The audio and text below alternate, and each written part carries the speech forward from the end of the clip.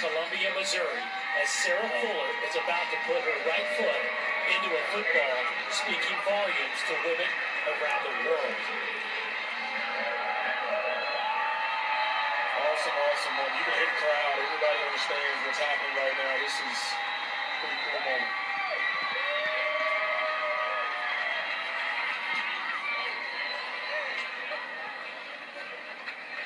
And the kick down at the 35-yard line, and Sarah Fuller. Happy Thanksgiving. What a day.